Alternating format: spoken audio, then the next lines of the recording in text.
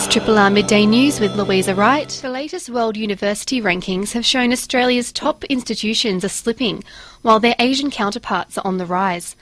The CEO of Universities Australia, Belinda Robinson, says the government's cuts to university funding is at odds with being competitive in the global university market.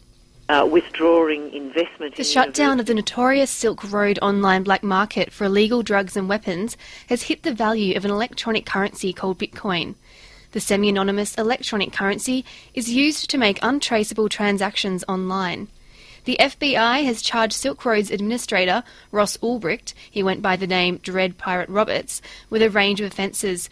Prosecutors say Silk Road is the most sophisticated and extensive criminal marketplace on the internet.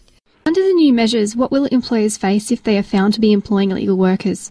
The new regulations rise out of the recommendations of the Howells Review. They do complement the existing uh, offences, but there'll be new provisions. New infringement notices and civil penalties will range from uh, $3,060 to a maximum of $76,500 per illegal worker. The latest international rate increases from Virgin Mobile will see customers paying up to 12 times more for calls made to some areas of the Pacific. The worst affected Pacific islands include Papua New Guinea, Solomon Islands, the Cook Islands, Tokelau, and Nauru, which will all cost $25 per minute to call.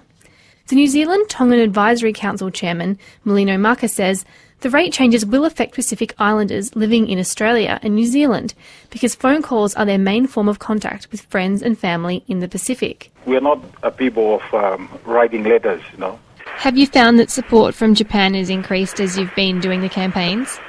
Yeah, we have seen over the years, this will be our 10th Antarctic campaign, that support from Japan is growing stronger. More and more people are donating from within Japan. Opinions in French Polynesia are split either way, so why do you think we should be leaning one way if there is no major consensus? Uh, because uh, self determination is a basic right. Uh, there was no consensus, they never asked to be colonised. Are these violent incidents causing a shortage of healthcare personnel? They are. Uh, in certain circumstances where security is very difficult, of course, people who have medical knowledge or uh, expertise are less likely to stay. And also in some situations, particularly in parts of South America, we find that entire communities are living without health services because the health personnel have left